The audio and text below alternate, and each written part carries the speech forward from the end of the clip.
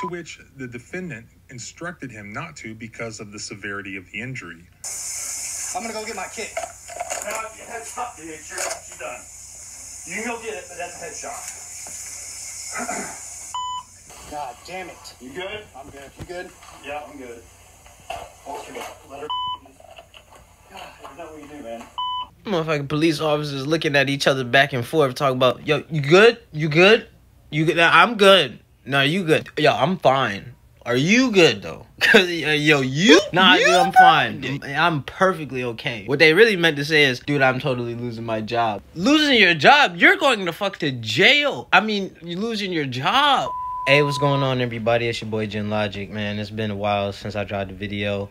Been doing a lot of adulting and everything, trying to figure out how to manage and all this type stuff. But, bro, I know y'all just seen the news and everything that was going on in Chicago, man and seeing that Miss Massey, the 36 year old black woman that had got shot by a police officer in her own crib. And bro, I had seen the full footage that was on the civil rights lawyer, the YouTuber's page. I'll put it in the link below and everything.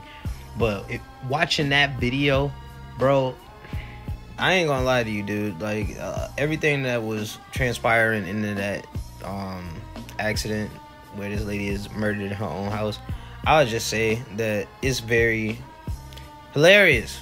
And I'm not even trying to be funny, but I swear to God, like, what else are we gonna do to be like, yo, like, I, I'm perfectly functional and I ain't trying to die in my own house?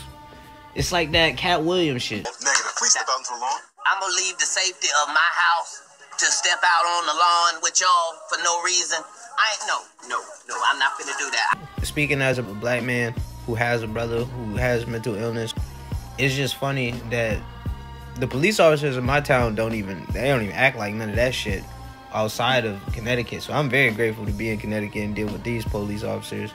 Um, and two, you can clearly see that something was wrong with this lady, um, which probably made them wired more than they had to be. They felt like they was probably finding some shit when she couldn't mention her last name quick enough. Like, why wouldn't you know your last name? Why can we get the ID? You know you called us. Why are you taking so long? Like, it was a lot of shit that made them like tweak. But to be at this point where y'all motherfuckers is trained and y'all know all y'all need is a taser, but y'all still pull out two gats. Not one of y'all niggas was like one gat, one taser. You know what I'm saying? Back to back. I don't even think y'all even trained to like defend or to neutralize. Y'all trained to just murk motherfuckers. You know what neutralize means? Neutralize means to disable someone, to stop or incapacitate someone. Incapacitate does not mean kill, bro. You know what I'm saying? I, I just don't understand how y'all got these big ass words y'all like to use in the court of law, but y'all cannot understand what that shit and comprehend how to use it when it's actually needed to be applied. It's just some crazy shit. And I know Al Sharpton gonna get involved with this shit and the election gonna go off. That's just like everybody that's getting these new positions, teachers, CDL drivers, all these motherfuckers are hella untrained and they are getting these jobs based off the pay and don't care about the work necessary to maintain or even do that shit with some maximum effort and efficiency. But to see someone get shot in the motherfucking eye over some hot boiling water when y'all niggas could have threw a club, shot her with a taser, or you know have one take one for the team and y'all could have beat the brakes off of it's actually insane to me. It's straight up three shots. None of them shits went to the body, all to the dome. One of them hit, and they even cracked the joke afterwards. Oh, fuck, bro. Hold up, I, I, I gotta get the med kit, man. Damn. nah, bro, nah, nah. You don't need no med kit when you fucking with me, bro. you know, I'm one shot kill. One batch, two batch, penny and dime, nigga. That's a one shot kill. Hell yeah. Back on base, they used to call me One Take Drake.